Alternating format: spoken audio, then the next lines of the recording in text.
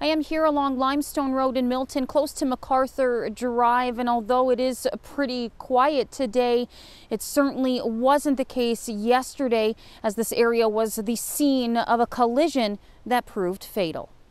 My wife had heard about a, a screech of tires, so she went outside to investigate. She didn't think anything further until about 20 minutes later when we heard ambulances, fire trucks, and police uh, coming up the road.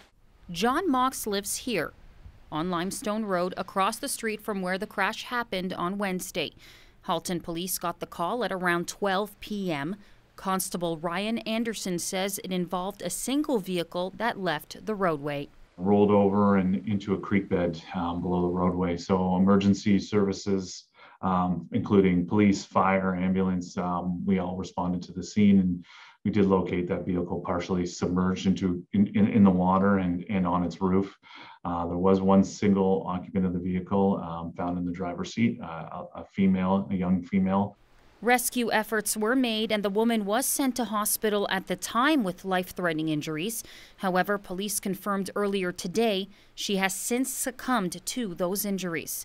Now, Mox didn't witness the crash himself, but he spoke with his neighbor who was home at the time to my knowledge, is that our neighbor that lives across the creek from here, her and her son were at home, and her son, they came down, uh, they saw the car in the water, he immediately jumped in, uh, and she had to run up to get her cell phone to call 911, and he tried his darnest to save her.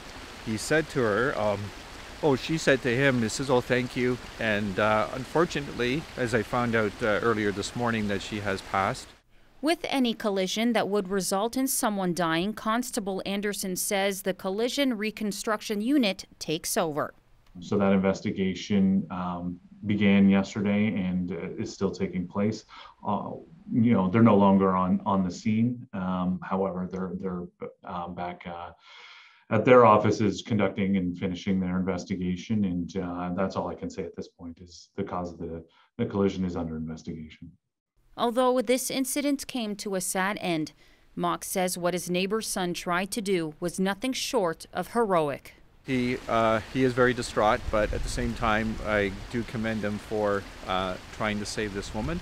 Now, if there are any witnesses who have yet to talk to police, Halton Police is suggesting that you contact the Collision Reconstruction Unit at 825 4747, extension 5065.